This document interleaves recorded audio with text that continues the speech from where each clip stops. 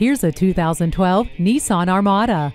This multi-purpose SUV comes with exterior features like heated mirrors and a roof rack for extra storage. The interior comes equipped with a CD player with steering wheel audio controls and auxiliary input, rear sonar system, and multiple airbags for safety.